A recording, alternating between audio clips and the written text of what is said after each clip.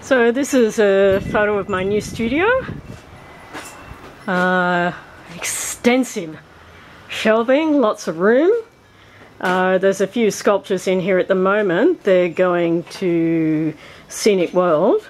Um, so they're just in transit. Um, here we go. And we've got two pulleys. This is one of them.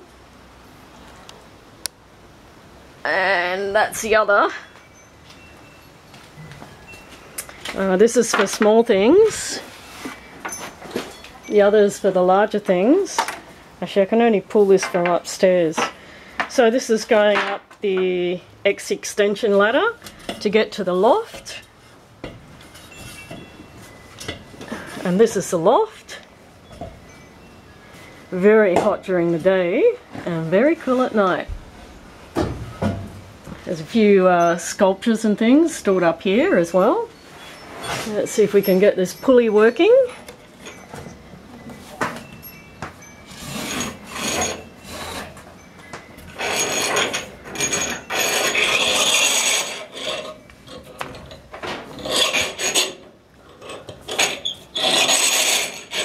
There we go. Whoops. Kind of need two hands for it. Ah! Anyway, that's our pulley down there.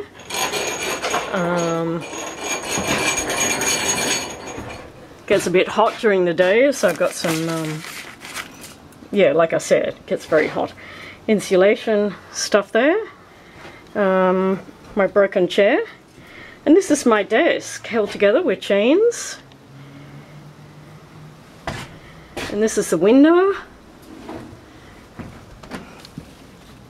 And you can, you can see all the metal junk in the backyard.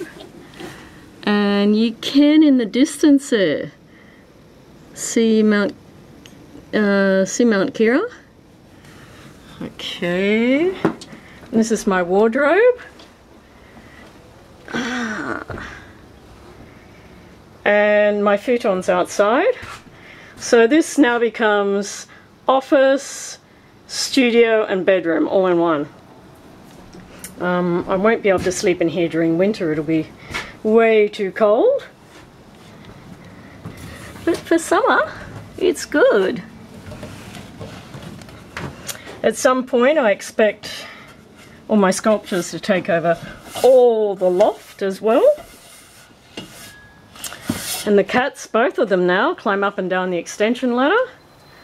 And here's today's work, the shell that I'm working